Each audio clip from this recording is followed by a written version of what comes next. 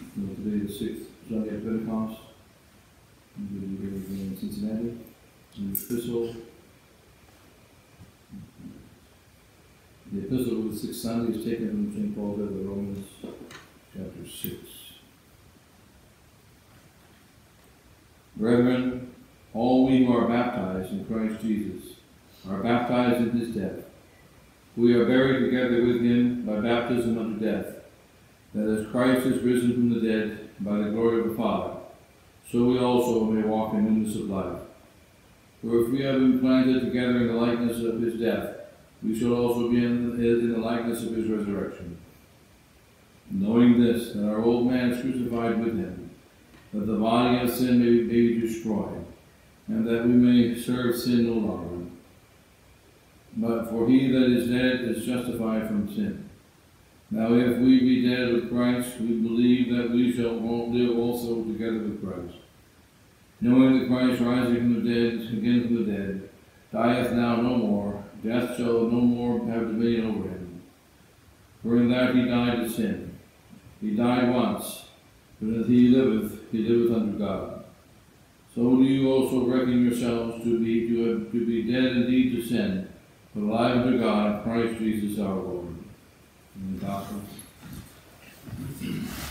Take that according to St. Mark, chapter 8. At that time, when there was a great multitude of Jesus, and they had nothing to eat, calling his disciples together, he saith to them, I have compassion on the multitude, for behold, they have now been with me three days, and have nothing to eat. And if I shall send them away fasting to their home, they shall faint in the way. For some of them came from afar off. And his disciples answered them, From whence can any one fill them with here with bread in the wilderness? And he asked them, How many loaves have ye? Who said, Seven. And he commanded the people to sit down on the ground. And taking the seven loaves, giving thanks, he broke and broke and gave to his disciples to set before the people. And they had a few little fishes, and he blessed them, and commanded them to be set before them. And they did eat and were filled.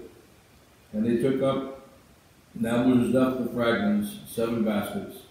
And they that had eaten were about four thousand, and he sent them away. Those are the words of today's.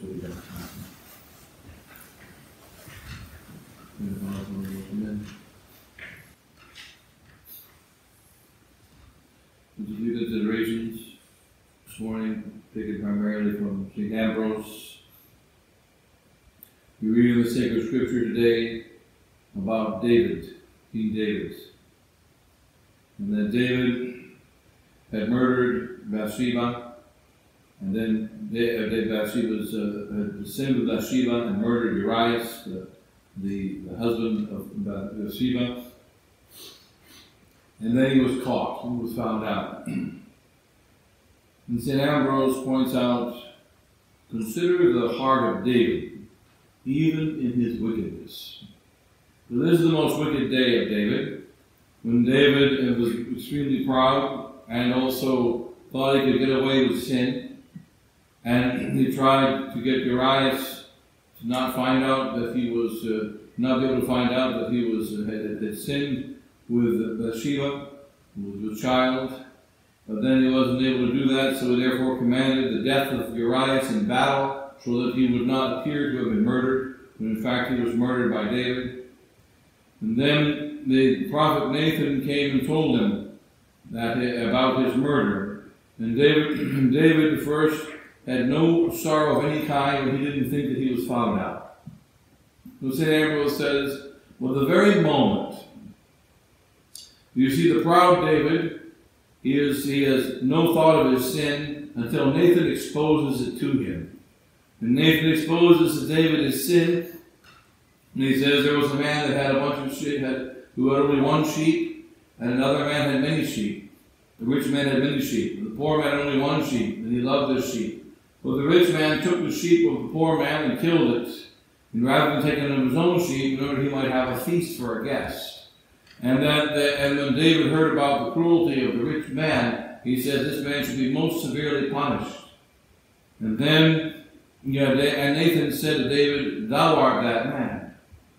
You have you have all the kingdom, you have your wives, you have everything, but yet you took the wife of Urias and you you, you stayed with her, and then you murdered Urias. And as soon as David was realized the, the, the witness of his sin, instantly he repented. He instantly repented, says Ambrose. Notice the greatness of the heart of David, that even when he was in his most wicked moment, once he was discovered his sin, once it was once was, his sin was spoken, he instantly wept. And he and he, he sang his song Miserere, Psalm 50 of the whole 150 psalms. It is one of the most beautiful of the psalms. We quote from it every Sunday. We say, Sprinkle with hyssop, I shall be cleansed. Asperge me sopra un dabor, lavabos meum deo babor. So we, we say, Sprinkle with hyssop, and I shall be cleansed. Wash me, they shall be whiter than snow. And that, that David desired that he be cleansed of his most terrible sins.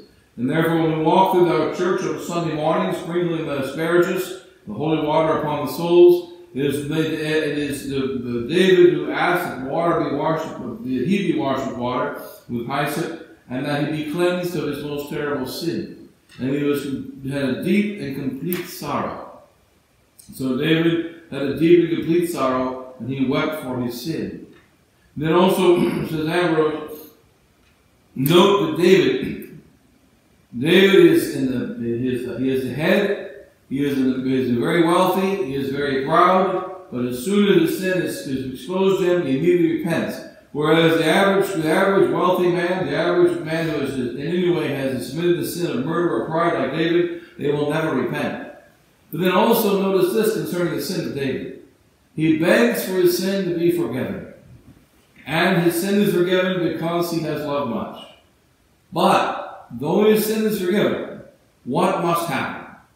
Nathan tells David, Because thou hast done this terrible sin, I will rise up evil in my own house. There shall rise up evil in my own house. And have remember that Adam committed a terrible sin, and Adam repented. And though Adam repented of his terrible sin, God said to Adam that there will be, and that he stood, he lost, the evil rose up in his house and that there is a, a, sin that rose up in the house of Adam until the end of times. And David, David committed a sin, and there rose up evil in his house. I will rise up evil in thy house, and thy own house shall turn against thee, in punishment for thy sin. And one day Absalom, his most beloved son, would rise up against him, would drive David into exile, and he would have to flee and, there, and there, David would have to suffer. Furthermore, soon after the, the, the, baby was born, David would have a great love with the baby that was born of Bathsheba, but the baby would live only eight days, and then the baby would die. And, and David prayed for the saving of the baby, while the baby died. And that, and that there was, that we must remember also that there are two parts of sin. For the first part of sin is the sin itself, the evil act that we have committed.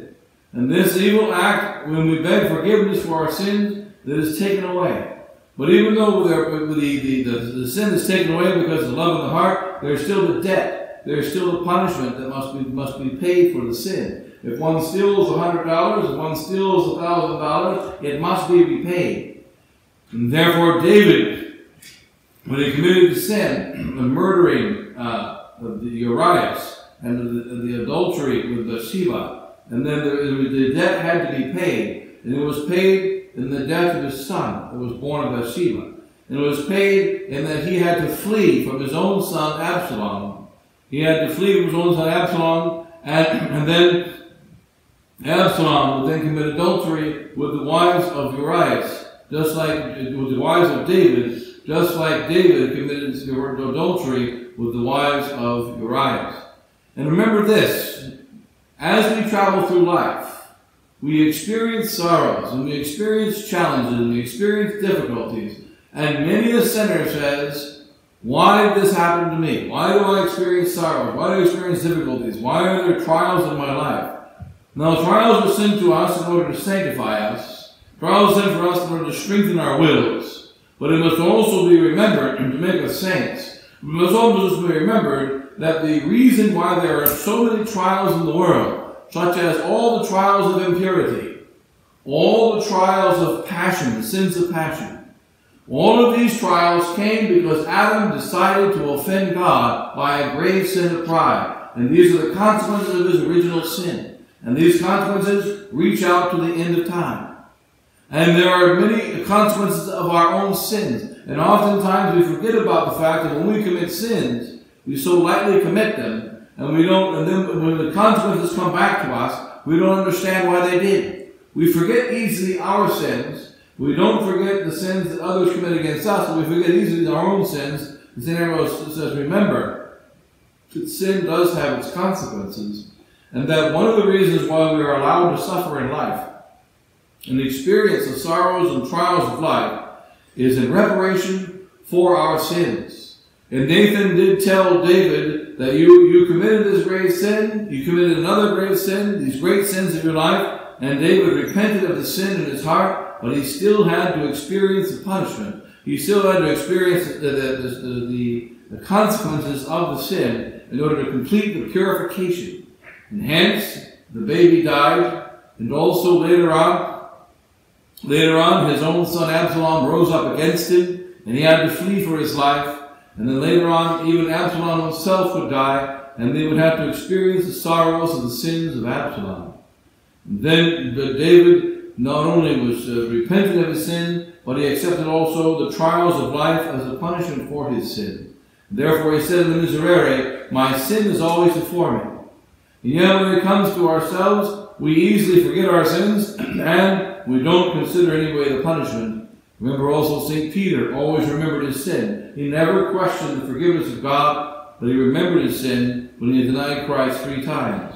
And the remembrance of sin is important for us in order to keep us from becoming excessively proud. Because each of the, when we travel through life, we easily turn to that great sin of pride. Therefore, God allows there to be some suffering, some trials from the outside in order to remind us that we have sinned and we must make reparation for our sins and also to keep us from the great sin of pride. It was a great sin of pride that made David commit his terrible sins, and that, side, that, that pride never returned. And because it never returned, he did not ever repeat those sins. And also with regard to St. Ambrose, note everyone knows the great sin of David, and he was forgiven by God. But they forget that Ambrose, I mean that, that David, who did commit great sin and was forgiven by God, he, oh, he did two things. He accepted the punishment, the sufferings of life in reparation for his sins, and he did not return to his sin.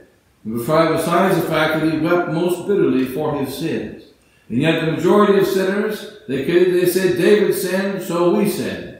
But they, they often they imitate the sin of David, but they don't imitate his repentance, they don't imitate his charity, they don't imitate his acceptance of the trials of life, they only imitate him in that he does not continue to repeat his sin, but he leaves it behind forever.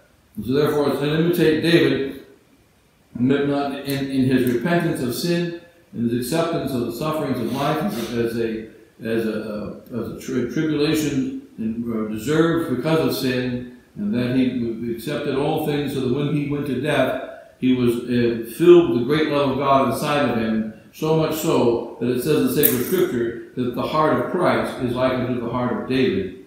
And so that he to completely transform his heart 100%. In the case, close at that, and God bless you all then, and the Father, and the Son, and the Holy Ghost. Amen.